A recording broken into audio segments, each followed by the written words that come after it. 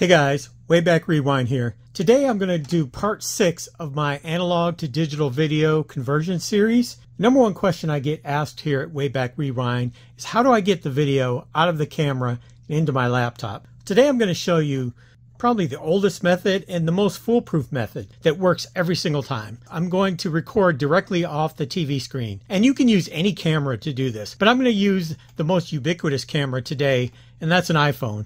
I have an iPhone 14 here and I'm going to point it directly at the screen and show you how you can convert your analog video into digital. Coming up next, here on Wayback Rewind.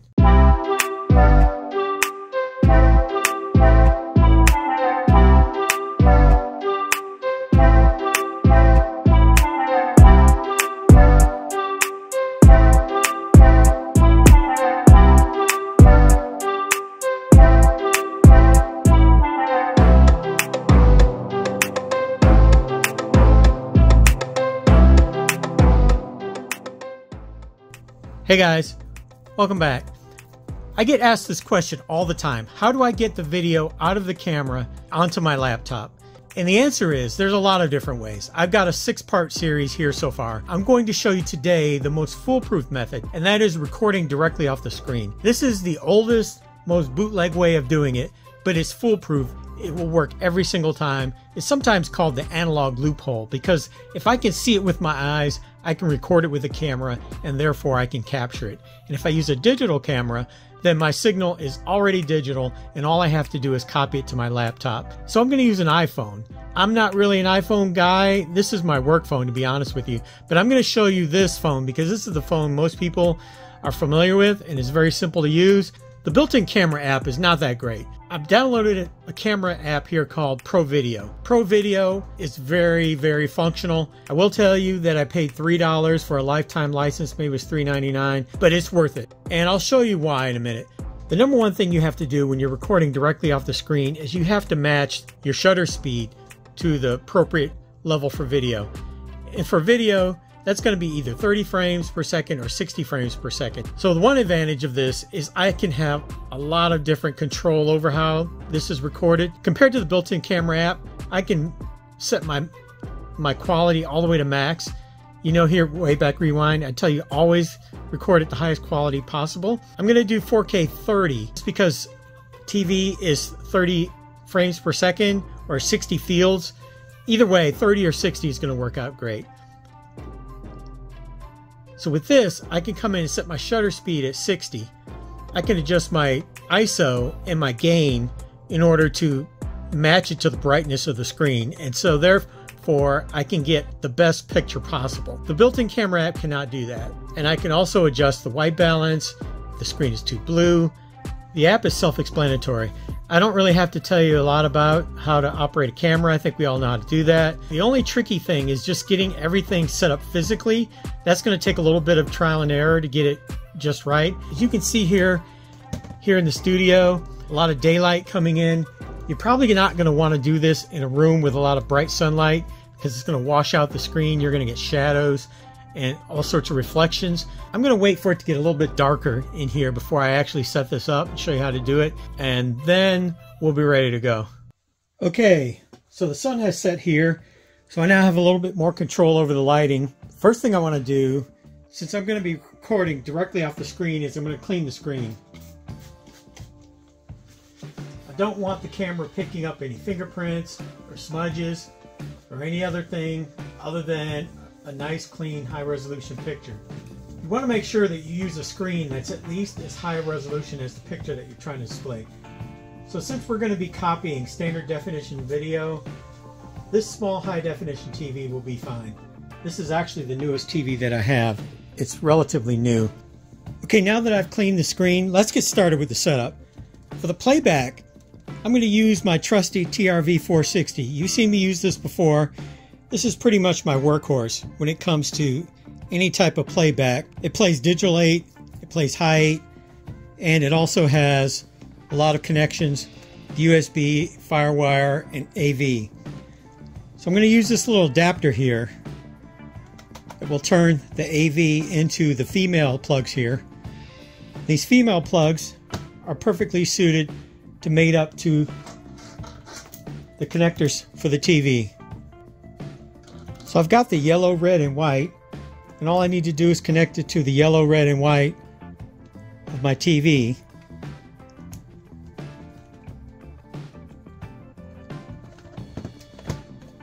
Turn my TV on, it should be ready to go.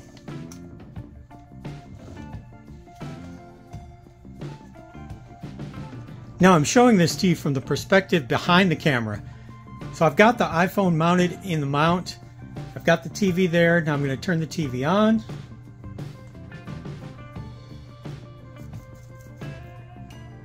TV's warming up. You need to set the input. You need to select input, AV. Press play on the camera. Now I'm getting video.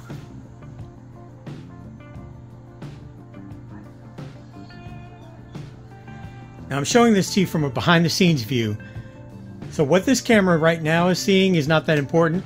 What's important is that the camera that is pointed at the screen is getting a good picture. So I'm going to come in closer on that to show you how that needs to be set up. Okay, pushing my photographic skills to the limit here because I'm taking a picture of a camera taking a picture of the TV.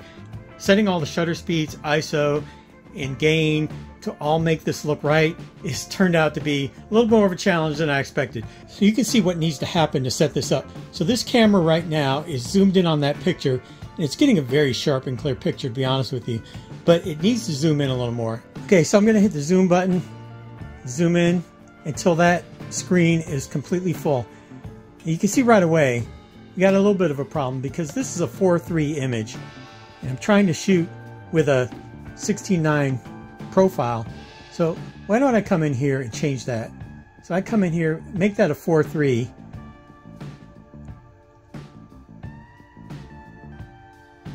Let's let's go with the highest let's go with the highest resolution we can. Oh, now my zoom is completely messed up. Let me come in make that fill the screen as much as I can. Okay, I had to tweak a few things, get it back to where I wanted it, get my shutter back to 60, get my screen aspect ratio correct, zoom in as much as I can, minimize the amount of black area, letterboxing or pillar boxing. We can always play with that in the computer, but we want to get as much picture on the screen as possible. What you also want to do is probably turn the lights off in the room so you can see better. But what you want to do is play with the white balance, play with the ISO, and see and get that as dialed in as best you can. My camera just was paused for too long. So I'm to hit play again.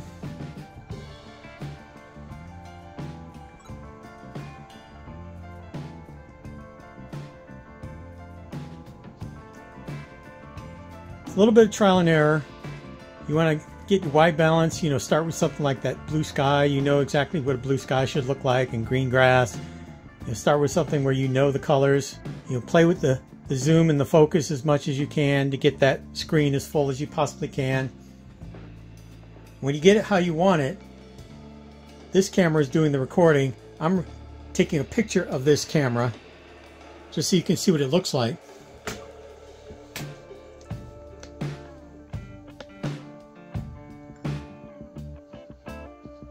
So I backed up a little bit so you can get a better idea.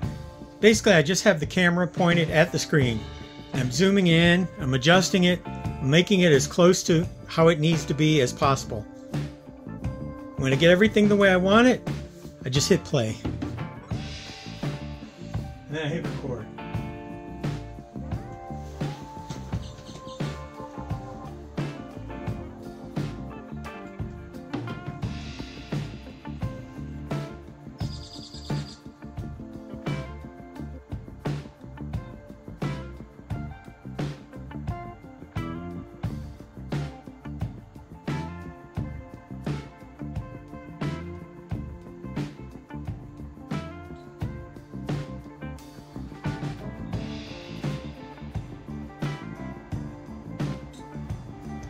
probably don't want to be talking as well because I don't have a direct audio hookup. I'm just using microphone.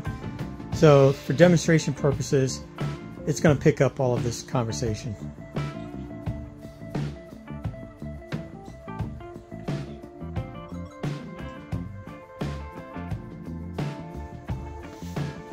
And that's it. Now it's in the camera. Now it's in the phone. Now it's digital. Now all I have to do is plug in my iPhone to the computer and access the video. We all know how to get videos out of an iPhone, but I'm just going to show you real quick. Just open that up on your computer. It says internal storage. It's only going to show you the camera folder. It won't show you everything. These are all the camera folders that I've created over the history. I don't know what the heck these numbers mean. But the one with the highest number is going to be the most recent one. There's that QuickTime video that I just made. Now I click on that, I can play it, I can do all sorts of things with it, but it's in the computer. So I've answered the question, how do I get this into my computer? I now have the video in the computer. Before you can play it, you really have to download it off the phone. For some reason iPhones are really picky about that. So you have to copy it over to your computer before you can actually play it.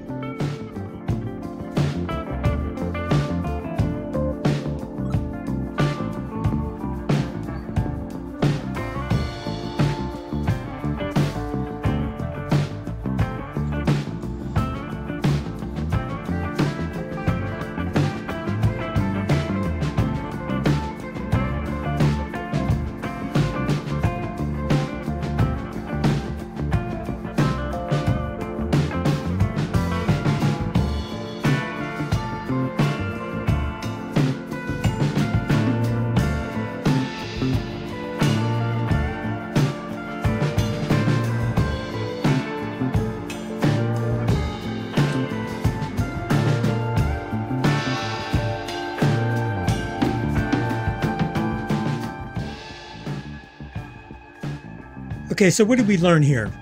I was able to use the iPhone to copy the video from the TRV 460. If you're the type of person that likes a one button solution, this is probably not the way you want to do it.